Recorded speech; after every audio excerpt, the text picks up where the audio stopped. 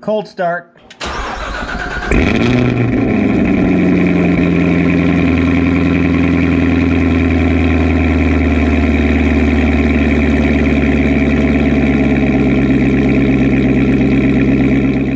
To some, this car is a symbol of success. But to me, it's a symbol of all my failures. Let's talk about why.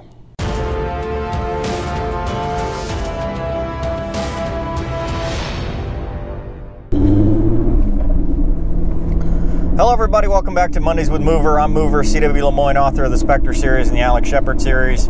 Hope you're having a great week so far. I know it's just Monday, so it's just starting. But uh, today's episode, I've gotten a lot of questions about what happens when they say no. You know, we always talk about make them tell you no, which if you're from not if you're new to the channel and not familiar with that, make them tell you no basically means don't self-eliminate. Don't be the person that tells yourself no when it's something you want, especially when we talk about becoming a fighter pilot. A lot of things in general in life, and especially in aviation, uh, you'll hear no a lot.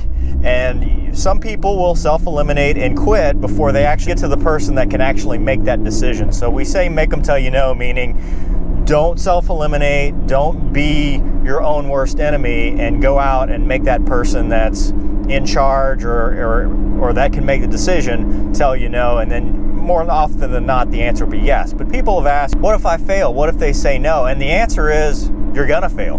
And I think that, you know, for me, that was something that it took me a while to figure out about failure. I never really understood that, but in in general, the most successful people in the world are the ones that have gone out, put themselves out there, and failed multiple times. You talk to any fighter pilot, they will tell you, "Oh yeah, I failed here. I failed here. I failed." Uh, graded rides, I failed check rides, I've failed to accomplish my objective.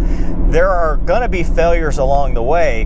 What separates the successful from those that that just never accomplish anything are what they do when they fail. You know, the successful will go out and learn from what happened, make themselves better, pick themselves back up, and go out and, and strive to do better and, and actually accomplish their goals. You know, as fighter pilots, we debrief every sortie. And before every sortie, we set up what's called uh, the mission objectives. And they're specific, achievable, uh, and measurable. So you take those objectives, you write them on the board, and you say, we're going to do this, this, and this. And you may have a really good sortie, but still fail to accomplish specific objectives. And even though it was like overall a good sortie, we still come back and we debrief. We go, okay, we failed to accomplish this objective.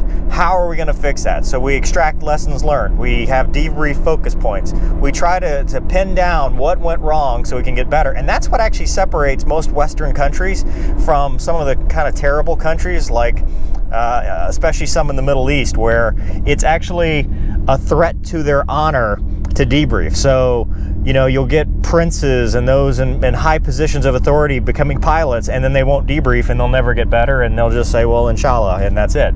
So, that actually is what makes us better. So, you'll never really talk to a fighter pilot that's never failed anything, and I didn't really understand that until after pilot training because during pilot training I did really well. I didn't fail a single ride. And so when I got to IFF, Introduction to Fighter Fundamentals, I was very, very paranoid.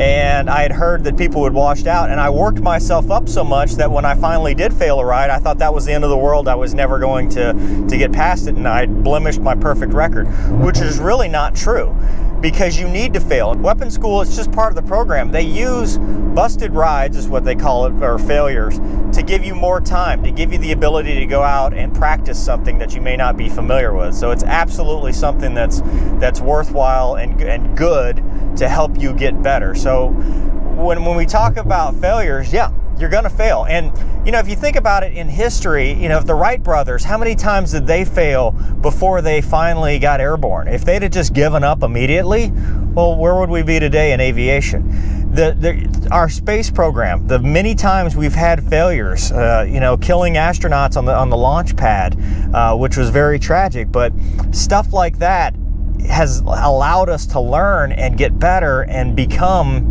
uh, more successful as a country, more successful in general. All, all of our failures have led to successes, and that's what you have to realize is that you're gonna fail, but that's okay. That's part of the process. You can't worry about those failures. You know, I on the Make Them Tell You No Facebook group, I often get a lot of questions about washout rates and well, what if this happens? Well, what if that happens? You can't what if. All you can do is make yourself as competitive as possible.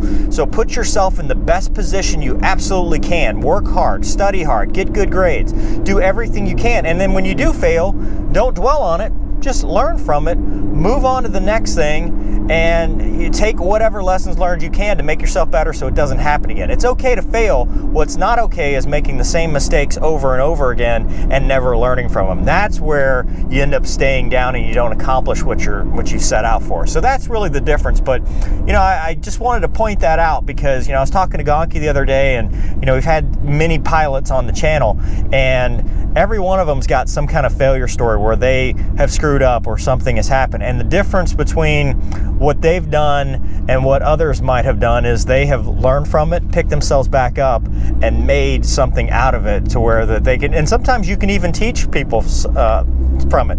Uh, for example, in a fighter squadron, it's called fratricide when you accidentally kill in training, obviously, blue on blue. So you shoot, like I've shot down my flight lead by accident. And you have to go out in front of the squadron during a squadron meeting and you have to stand in front of your fellow fighter pilots and you tell the story and you brief and you apologize and usually involves buying a keg uh, for the squadron bar but you do that so that we can all learn from it we can all get better and that's how you become a better person in general is by accepting the fact that failure is going to happen, not being okay with it. We're never going to be okay with it, but to say failure is not an option is just wrong. It is an option, and if it does happen, we're going to learn from it, we're going to get better from it, and we're going to move on. So I know it's a short Mondays with Mover, but I just wanted to uh, put that out there and uh, hope that gives you some level of motivation for 2020 that it is in fact okay to fail. Just don't dwell on it, allow it to happen, get better from it, and move on. So, hope you enjoyed this episode. Thanks for watching, and I'll see you next time. Excuse me. No, no. Oh! Been a lot of that.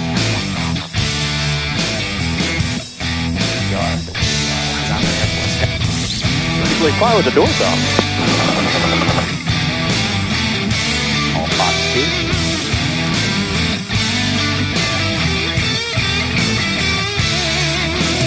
Don't be a douche. Rule number one. Make them tell you no.